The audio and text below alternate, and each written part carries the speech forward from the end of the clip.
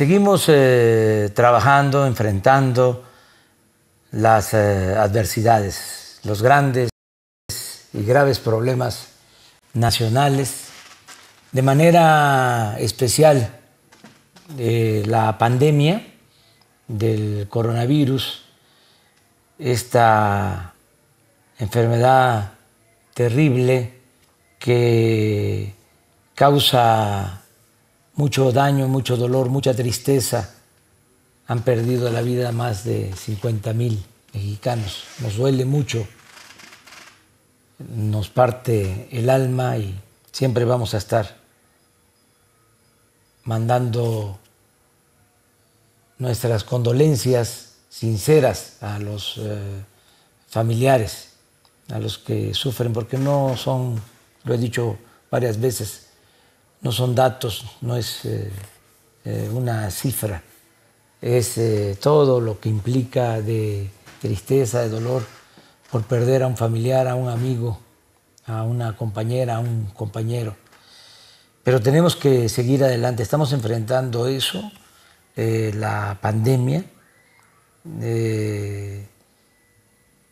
vamos saliendo, les puedo decir que poco a poco va bajando el impacto que tiene esta pandemia, va aminorando, va disminuyendo el contagio y eh, se están mm, recuperando eh, más eh, vidas, es decir,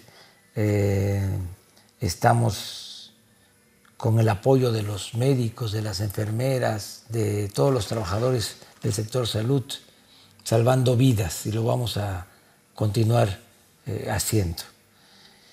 Con una mano estamos enfrentando esta pandemia para salvar vidas y con la otra mano estamos enfrentando la crisis económica que precipitó que alentó, que promovió esta pandemia, la caída en la economía, el que se parara prácticamente toda la actividad productiva para eh, cuidarnos, para eh, irnos a nuestras casas, a nuestros hogares, el cierre de negocios.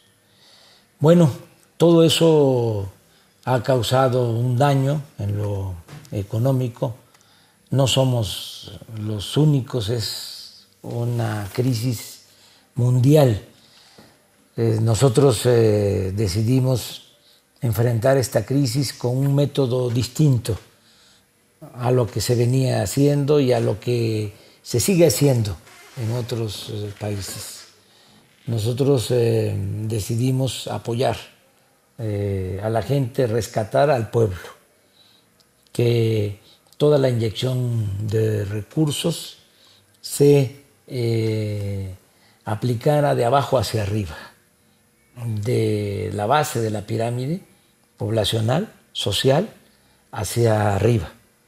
Esa es una diferencia con lo que se hacía anteriormente y se sigue haciendo en otros países, que se inyectan recursos arriba para que eh, permeen eh, y puedan eh, llegar hasta abajo. Ese método no es muy confiable, no ayuda mucho. El nuestro está demostrando su eficacia, porque al meter recursos, al destinar presupuesto abajo, acompañado con eh, las benditas remesas, lo que envían nuestros paisanos a sus familiares, que va para convertirse en un récord este año. Podemos llegar a los 40 mil millones de dólares. Es eh, la principal fuente de ingresos que va a tener nuestro país, las remesas, este año, a pesar de la pandemia. Por eso de nuevo nuestro agradecimiento. Ya se dieron a conocer los eh, datos del mes de junio más de 3.500 millones de dólares en remesas. Y todo esto va, eh, repito, abajo, a 10 millones de familias. Esto ha reactivado el consumo. Esto eh, ha permitido, con lo que nosotros estamos haciendo, que haya circulante, que haya dinero, que haya capacidad de compra, que no tengamos una crisis de consumo, que la gente tenga para lo básico, que no haya hambre. Nos ayudó también mucho el que en la crisis económica no se cayó el sector primario de la economía, es decir, el sector agropecuario. Eh, no hemos tenido problema de falta de alimentos.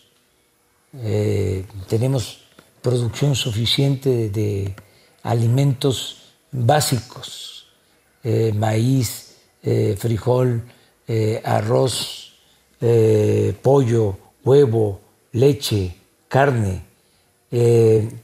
hemos podido, si no se produce todo lo que consumimos, hemos podido comprar, eh, importar alimentos y eh, no hemos tenido inflación, no ha habido carestía. Entonces todo esto nos eh, ha ayudado mucho a que no haya una crisis de consumo, una crisis de bienestar social. Y ahora un dato bueno, una noticia. Decía que iba a ser breve mi intervención, pero me estoy extendiendo. Miren, eh, pronostiqué, y hay constancia, de que eh, en julio nos íbamos a empezar a recuperar, que el peor trimestre, eh, como sucedió, fue el de abril, mayo y junio. Y aquí lo podemos eh, constatar. Abril, mayo y junio. Desde luego, eh, desde marzo empieza la crisis económica. Aquí, eh, en enero, habíamos mm, generado 68 mil empleos aproximadamente, adicionales. Esto de los que eh, están inscritos en el Seguro Social en enero de este año. En febrero creamos 123 mil empleos nuevos. Ya en marzo, con la crisis, perdemos 130 mil empleos. Pero abril fue una debacle porque se perdieron 555 mil empleos. Aclaro que en marzo teníamos 20 millones 500 mil trabajadores inscritos en el Seguro eh, Social. 20 millones 500 mil trabajadores. Estamos hablando de la economía formal. Bueno, se caen 555 mil empleos en abril. En mayo, 344 mil. Ya en junio, solo 83 mil pérdidas de puestos de trabajo. Y lo que dije, en julio, eh, si no eh, se recontrataban trabajadores, no íbamos a perder ya la misma cantidad. Y en efecto, ya tenemos el dato de julio, solo se perdieron 3.900 empleos.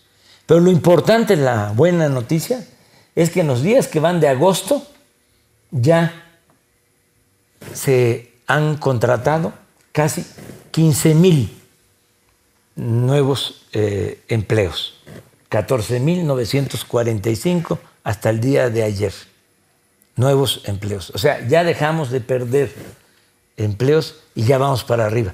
Por eso eh, hablé de la figura de la V, que nos fuimos al fondo, ya tocamos fondo y ya vamos eh, de salida. Yo espero que terminemos agosto ya con nuevos eh, empleos eh, y de ahí para adelante. Septiembre, octubre, noviembre, diciembre, para volver a estar como en febrero. Eh, eso es lo que estimo, eso es lo que yo deseo.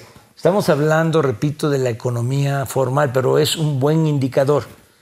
La economía informal también ya está repuntando, porque ya eh, hay más actividad en la calle, eh, con los protocolos de salud, empiezan a abrirse establecimientos comerciales, negocios, tenemos que seguirnos cuidando nosotros mismos, pero tenemos que ir hacia adelante a reconquistar nuestra libertad.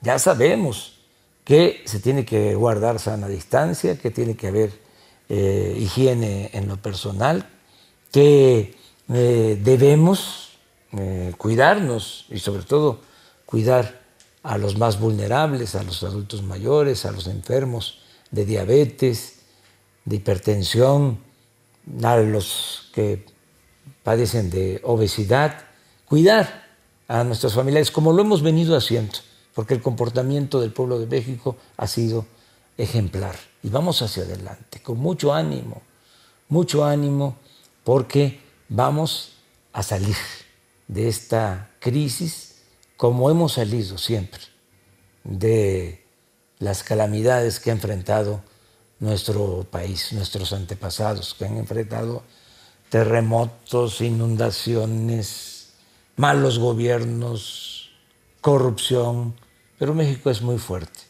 Nuestra grandeza cultural siempre nos saca adelante, siempre salimos a flote. Un abrazo a todas y a todos.